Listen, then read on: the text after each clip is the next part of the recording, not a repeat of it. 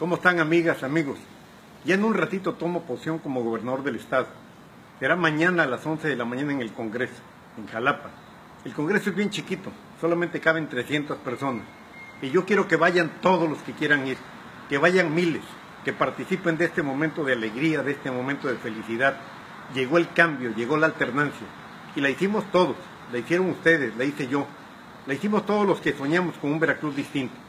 Les pido que me acompañen que vayan a la Plaza Lerdo, a Jalapa, a partir de las 11 de la mañana.